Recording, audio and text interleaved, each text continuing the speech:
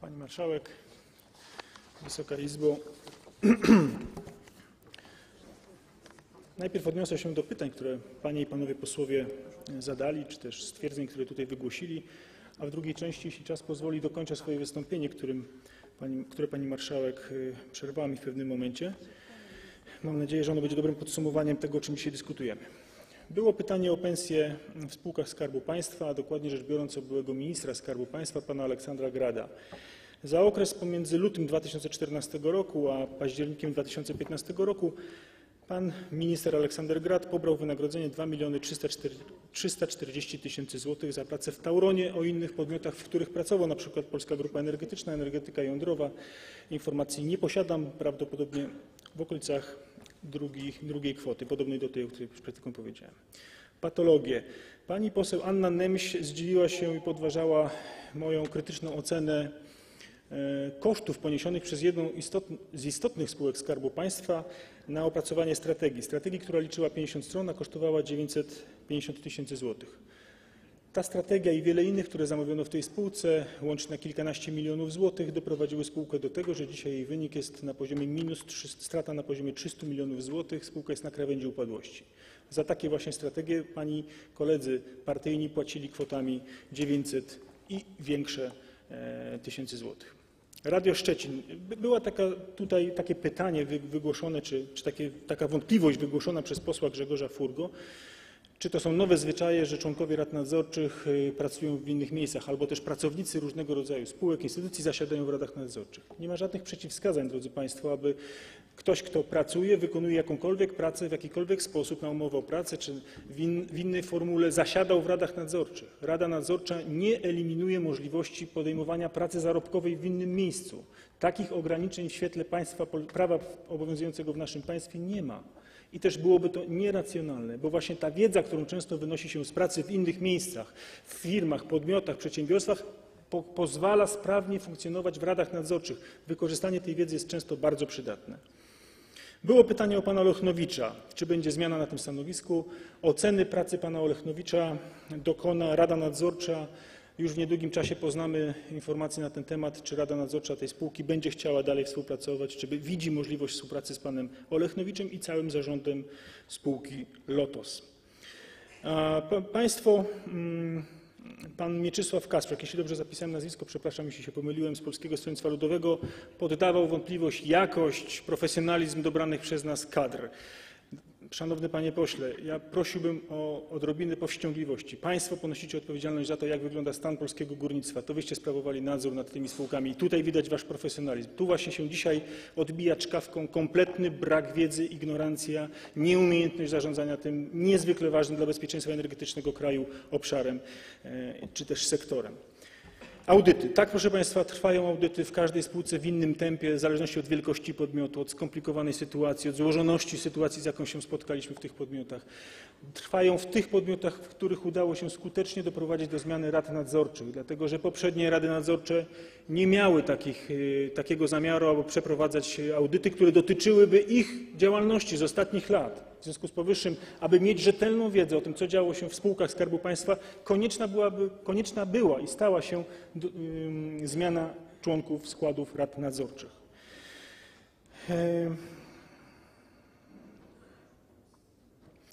Szanowni Państwo, czy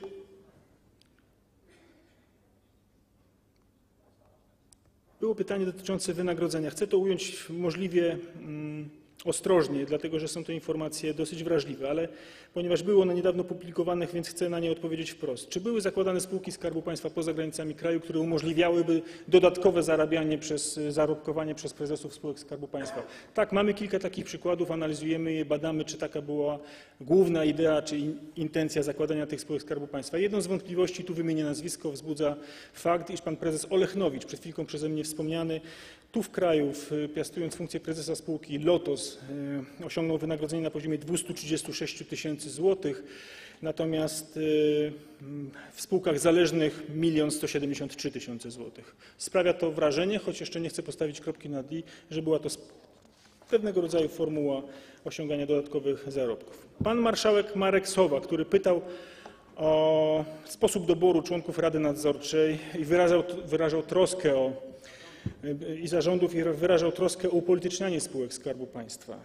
Panie marszałku, e, piastował pan funkcję marszałka województwa małopolskiego, ale równocześnie był pan członkiem Rady Nadzorczej Uzdrowiska Krańcarzy Giestów. Myślę, że pan nie powinien takich pytań zadawać. Elżbieta Borowska, pani poseł Elżbieta Borowska pytała o pana Kazimierza Drzazgę, czy odpowie, właściwie zarzuciła, że nie ma odpowiedniego doświadczenia, wiedzy do zasiadania w spółce. E, Mówię tutaj o zarządzie portów morskich Szczecin i Świnoujście. Proszę dobrze sprawdzać, zanim państwo wyartykułujecie tego typu wątpliwości i obawy. Proszę rzetelnie podejść do sprawy, nie korzystać tylko z doniesień prasowych, ale zadać sobie trud i spojrzeć do dokumentów, są często dostępne w internecie. Pan Kazimierz Drzazga był członkiem zarządu portów morskich Szczecin i Świnoujście w latach 2006-2008, a w 2009 ro- roku rozpoczął pracę jako pełnomocnik zarządu tej spółki. Ma wiedzę i doświadczenie dotyczące tych podmiotów, dlatego korzystamy z jego doświadczenia i wiedzy również dzisiaj. To jest naprawdę niewielki wysiłek sprawdzić, zanim postawi się tego typu zarzut. E, Kolejne pytanie. Pani, Dorota, pani poseł Dorota Rutkowska zarzuca ignorancję, bo tak to chyba brzmiało, to, to sformułowanie, powoływanym członkom zarządów w grupach energetycznych. Ja chciałbym, drodzy Państwo, powiedzieć, że rynek zweryfikował i ocenił, jak, jak y, y, odebrał mm, powoływane osoby do grup energetycznych, do tych spółek, które mają niezwykle istotne znaczenie dla bezpieczeństwa energetycznego naszego kraju, dla funkcjonowania polskiej gospodarki. I chcę Państwu przytoczyć dane. Otóż notowania giełdy papierów wartościowych, notowania akcji tychże spółek. Orlen po zmianie. Od zmiany prezesa spółki, która nastąpiła w dniu 16 grudnia, akcje spółki wzrosły o 13,5%.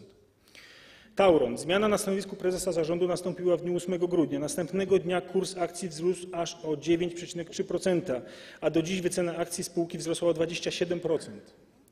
KGHM. Po zmianie zarządu w dniu 3 lutego cena akcji spółki wzrosła o 31,8% do dziś łącznie, a wartość spółki wzrosła o 3,6 miliarda złotych.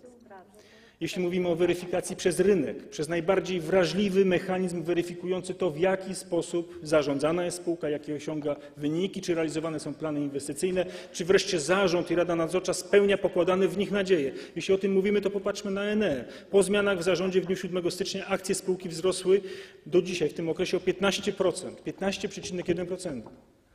PZU. Zmiana prezesa nastąpiła 19 stycznia. Dziś cena akcji jest o 10,6% wyższa, a wartość spółki wzrosła o niemal 3 miliardy złotych, proszę Państwa. Bardzo proszę, zanim zaczniecie artykułować tego typu zarzuty, sprawdźcie, wykonajcie to ćwiczenie i sprawdźcie, jak reaguje rynek, czyli ten mechanizm, na który choćbyście nam zarzucali, to nie wiem jakie upolitycznienie, nie mamy na niego wpływu. To są eksperci, to są inwestorzy indywidualni, to są te osoby i te instytucje, które naprawdę nie podlegają naciskom politycznym, choćbyście nie wiem jak sobie tego życzyli, drodzy Państwo, żeby taki argument nam przypisać, taki zarzut nam przypisać. Drodzy Państwo, Wiem, że czas się kończy. Chcę zatem niestety na wszystkie pytania nie odpowiem, zwłaszcza na te, które dotyczyły innych kompetencji innych ministrów. Panie Wiem, że minister rolnictwa. Moment, ja panu przedłużam czas o 5 minut, by mógł pan oddzielić odpowiedzi na wszystkie pytania. Bardzo dziękuję. Bardzo dziękuję, zatem postaram się tyle, ile jestem w stanie odpowiedzieć. Było pytanie o Agencję Rozwoju Przemysłu, o pana prezesa Chludzińskiego. Otóż, szanowni państwo, nie wiem z czego biorą się te wąt- wątpliwości dotyczące wielu z powoływanych przez nas członków rad nadzorczych i wielu y, powoływanych przez rady nadzorcze lub, lub bezpośrednio przez Skarb Państwa członków zarządów.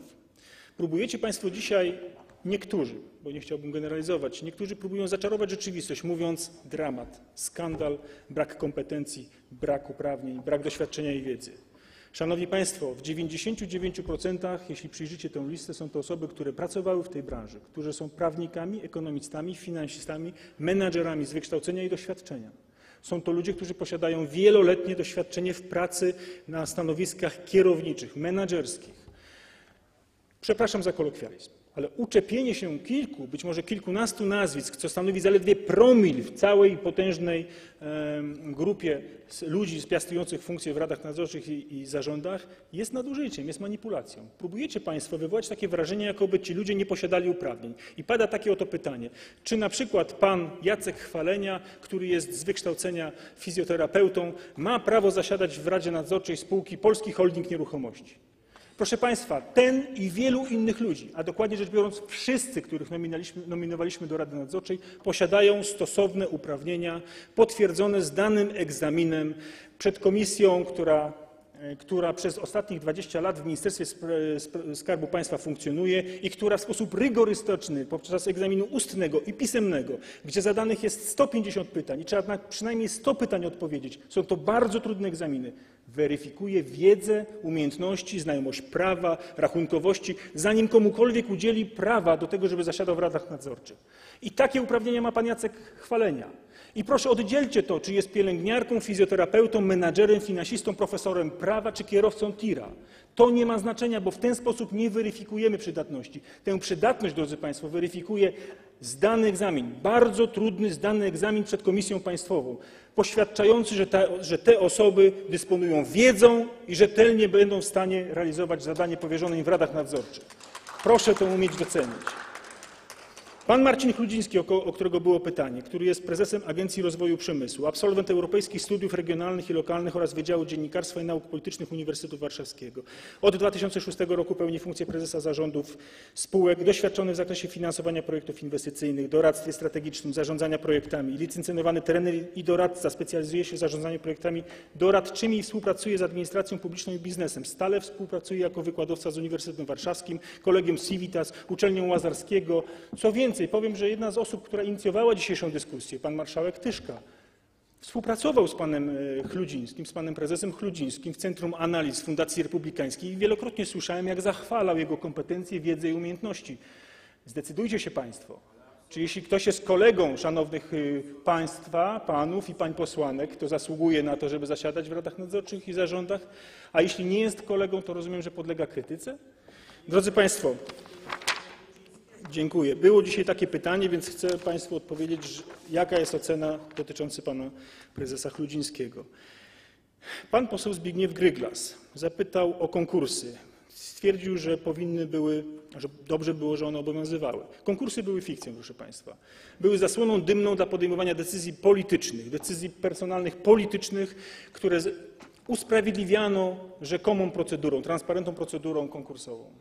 De facto te konkursy często były pomijane. Najlepszym przykładem takiego pominięcia decyzji komisji konkursowej był, był wybór prezesa polskich linii lotniczych LOT, pana Sebastiana Mikosza, który nie uczestniczył w procedurze konkursowej, który nie brał w niej udziału, ale w pewnym momencie, w którym minister Skarbu Państwa otrzymał listę, na której nie było pana Sebastiana Mikosza, pana prezesa Mikosza, wyrzucił tę listę do kosza i uznaniowo sam po prostu podjął decyzję, że e, powołuje pana prezesa Mikosza na stanowisko prezesa lotu. Tak traktowane były procedury konkursowe, rzetelne podobno, transparentne, które miały upu- upublicznić sposób powoływania, ujawnić sposób powoływania do rad nadzorczych. Pan poseł Józef Lasota z Platformy Obywatelskiej zarzucił mi, że mówiłem przez 4 minuty i 30 sekund o przeszłości. Drodzy Państwo, Platforma Obywatelska mówiła 8 lat o przeszłości. Znaczy, proszę o odrobinę przyzwoitości. 8 lat odwracaliście uwagę od problemów gospodarczych, od y, katastrofalnej sytuacji niektórych nadzorowanych przeze mnie podmiotów, zrzucając odpowiedzialność na poprzedników. Przez pierwsze 8 miesięcy nie potrafiliście podjąć żadnej decyzji, aby ratować polski przemysł stoczniowy, który w rezultacie waszych rządów został całkowicie niemalże zlikwidowany w naszym kraju. Przez 8 miesięcy nie podjęliście decyzji, a kiedy nastąpiła katastrofa, mówiliście wina poprzedników. Zła pogoda była winą poprzedników za waszych rządów. A wy mi dzisiaj mówicie, drodzy Państwo, że odpowiadając na wasze pytania przez 4 minuty i 30 sekund odnoszę się do przeszłości? Jeśli chcecie, opowiem o przyszłości.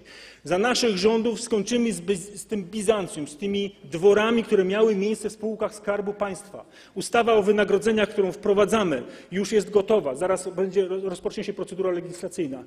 Ogranicza wynagrodzenie z prezesów spółek Skarbu Państwa i członków rad nadzorczych w sposób uznaniowy. To znaczy taki jak do dnia dzisiejszego. A chcecie Państwo wiedzieć, jak to wyglądało do dnia dzisiejszego? Otóż, proszę Państwa, prezes, były prezes, już były prezes e, spółki Orlen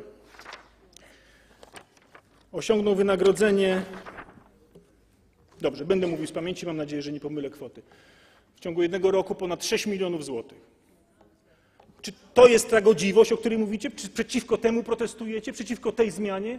Tak, dobieram ludzi w taki sposób, aby mieli kompetencje, aby mieli ukończone egzaminy do rad nadzorczych, aby mieli doświadczenie. Proszę nie wprowadzać, nie wstawiać, nie wkładać w moje usta sformułowań tego typu. Liczy się tylko zaufanie. To nieprawda. Liczą się kompetencje i zaufanie.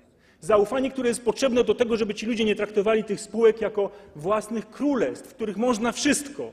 Na koszt podatnika można kupować co roku nowe limuzyny, można prywatne ubezpieczenia zdrowotne na koszt podatnika, na koszt tej spółki i jego e, i, y, inwestorów, akcjonariuszy opłacać. Pobierać wynagrodzenia i odprawy rzędu kilku milionów złotych rocznie. To się, drodzy Państwo, kończy. I my to zagwarantujemy. Ustawa jest niemalże gotowa. To my opo- opodatkowaliśmy odprawy i wynagrodzenia prezesom takim, którzy odchodząc po roku pracy dostawali 3 miliony złotych odprawy. Wprowadzamy dwie zasady, drodzy Państwo. Dobieramy ludzi, za których bierzemy odpowiedzialność i nie zasłaniamy się pseudokonkursami, i mówimy bardzo wyraźnie, przepraszam za kolokwializm, nie ma świętych krów.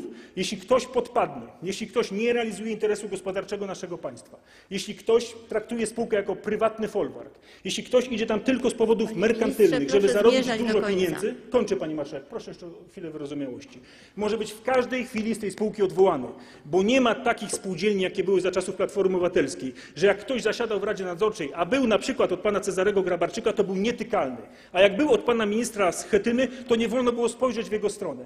Nie ma takich prezesów, takich rad nadzorczych i takich spółek Skarbu Państwa, w których by nie było można dokonać zmiany, jeśli uznamy, że jest to sprzeczne z interesami gospodarczymi naszego kraju. Lojalność wobec rządu to jest jeden z kryteriów, bo się musi taka osoba identyfikować z programem gospodarczym swojego kraju, a nie tak jak to było w niedawnym czasie, bo kilka tygodni temu wyłapaliśmy taki, jeszcze raz przepraszam za kolokwializmy, wyłapaliśmy taką sytuację, że w jednej ze spółek strategicznych w, Polsk- w jeden z kluczowych funkcji, jedna z kluczowych stanowisk, jedno z kluczowych stanowisk obsadzone było przez człowieka, który równocześnie współpracował z Gazpromem, a w kontrakcie, który został zawarty, miał wyłączony zakaz konkurencji dla Gazpromu. To się skończyło, drodzy Państwo, i proszę, żebyście to docenili, a nie krytykowali nas za to. Dziękuję. Zajmijmy się poważniejszymi Dziękuję. sprawami niż szukanie dziury w Dziękuję bardzo panu ministrowi.